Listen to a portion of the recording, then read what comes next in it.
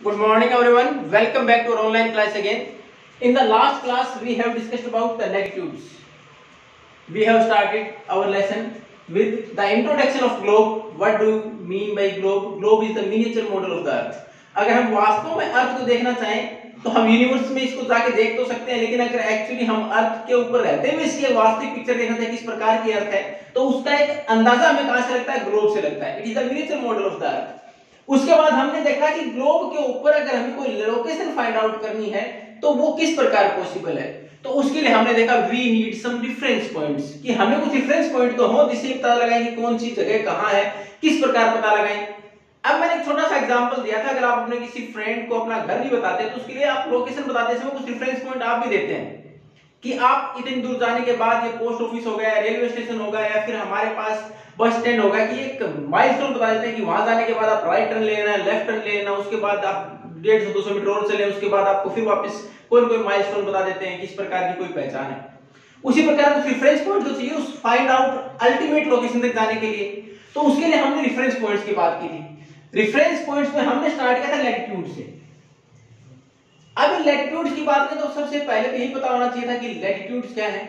We have already discussed कि हमारे पास जो हॉरिजॉन्टल लाइंस हैं, अगर मान लो एक ग्लोब है, इसके ऊपर जितनी भी हॉरिजॉन्टल लाइनें क्या हैं? दीज आर लैटिट्यूड्स सबसे बड़ा लैटिट्यूड कौन सा है? ये भी हमने पढ़ा था रेफरेंस पॉइंट में हमने देखा कि हमारे पास ज़ीरो डिग्री से ये 90 डिग्री इधर होते हैं 90 डिग्री नीचे।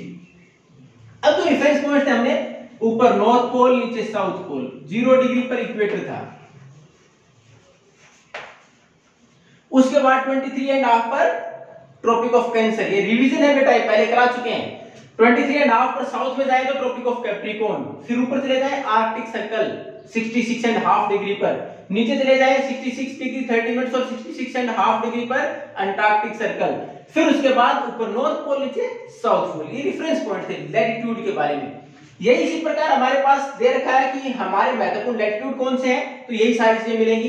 सबसे महत्वपूर्ण ज़ीरो डिग्री के ऊपर इक्वेटर फिर ट्रॉपिक ऑफ़ कैंसर और tropic of capricorn arctic circle antarctic circle तो ये हमारे महत्वपूर्ण लैटिट्यूड्स हैं। अब इसमें भी हमारे पास हमने देखा था, जो नॉर्थ की साइड होंगे, इसको हम बोलेंगे इतने हिस्से को नॉर्दर्न हेमिस्फीयर और ये जो साउथ का इसको बोलेंगे साउथर्न हेमिस्फीयर इस साइड के जो लैटिट्यूड होंगे zero one two three four ninety तक है, ये भी नाइनटी तक है तो नीचे के लिए हम लगाएँगे सामने एस जैसे ट्वेंटी डिग्री साउथ अगर इस साइड है तो ट्वेंटी डिग्री नॉर्थ अब हमारा नेक्स्ट आता है। नेक्स्ट क्या है? अब हम पढ़ेंगे हमारे पास हीट जोन्स होता है कि हमारे पास अलग अलग हीट जोन्स कौन से हैं अर्थ के। अब अगर हीट जोन्स की बात करें तो हमने अर्थ को तीन हिस्सों में डिवाइड किया हीट जोन्स के अनुसार। किस प्रकार? अब हमने मान लो एक ग्लोब था, इसमें बीचों बीच इक्वेटर ज़ीरो डिग्री के ऊपर। फिर हमने 23 एंड हाफ़ दोनों साइड अगर बात करें तो ये ट्रॉपिक ऑफ़ कैंसर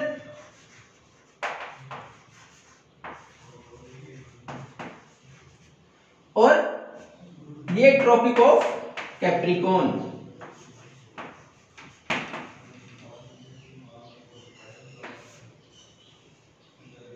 ये दो रेफरेंस अगर हम इसकी बात करें तो ये हीट जोन्स के लिए काम आएँगे, बता देता हूँ कैसे।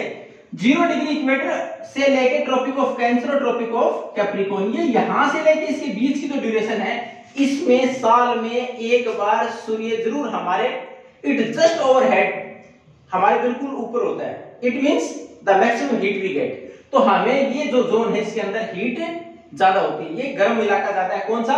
ट्रॉपिक ऑफ़ कैंसर से लेके tropic of capricorn tropic of cancer से लेके ट्रॉपिक ऑफ़ कैप्रिकॉन ये जो इतना इलाका है, इसके अंदर हीट हमेशा ज़्यादा रहती है, क्योंकि सूर्य का ये हिस्सा कभी ना कभी, इस पूरे लैटिट्यूड में कभी ना कभी बिल्कुल सूर्य के सामने रहता है।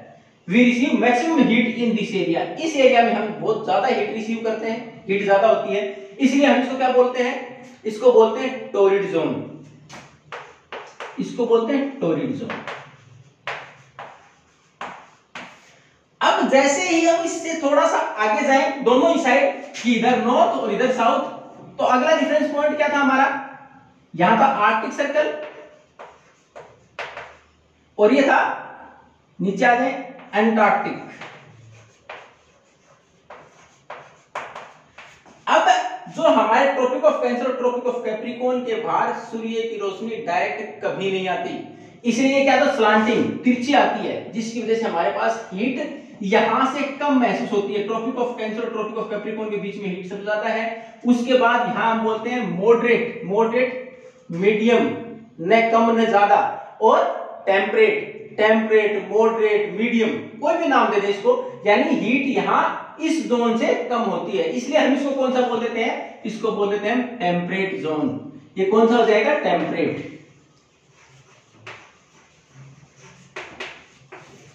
एंड द लास्ट अगर लास्ट में बात करें तो अब हमारे पास बचा क्या आर्कटिक सर्कल से ऊपर? ये नॉर्थ पोल और ये साउथ पोल यहाँ सूर्य की रोशनी बहुत कम पहुँचती है, जिस वजह से यहाँ ज़्यादातर बर्फ़ जमी रहती है। तो इसलिए हम इसको क्या बोलते हैं? क्योंकि बहुत ही ठंड है इट इज़ वेरी कोल्ड इसको हम बोलते हैं फ्रीजिड जोन फ्रीजिड जोन तो ये आज हमारे पास हमने पहले पिछला रिविजन किया कि लैटिट्यूड्स इंपॉर्टेंट लैटिट्यूड्स हमने पढ़े equator tropic of cancer tropic of capricorn arctic circle antarctic circle और ultimately north and south pole अब हमारे पास हमने देखा कि हमारी अर्थ को हमने तीन अलग अलग हीट जोन्स में डिवाइड कर दिया कि कहाँ कितनी गर्मी होगी अर्थ के ऊपर।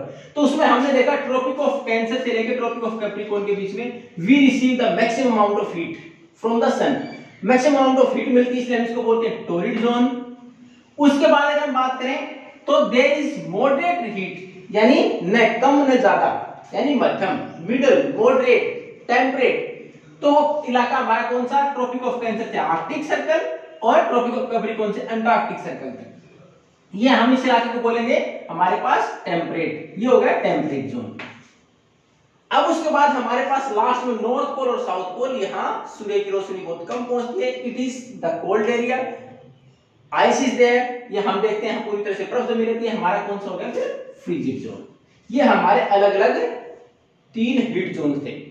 In the next class, we are going to continue about the last word of our lesson, that is longitude. अगली क्लास में जब हम कंटिन्यू करेंगे तो किसे करेंगे? लॉन्गिट्यूड से कंटिन्यू करेंगे। व्हाट आर लॉन्गिट्यूड्स लैटिट्यूड हम पढ़ चुके हैं हॉरिजॉन्टल लाइंस लॉन्गिट्यूड होंगे हमारे वर्टिकल लाइंस अब उसके बाद हम देखेंगे किस प्रकार, क्योंकि हम अकेले लेटिट्यूड से किसी लोकेशन को फाइंड आउट नहीं कर सकते।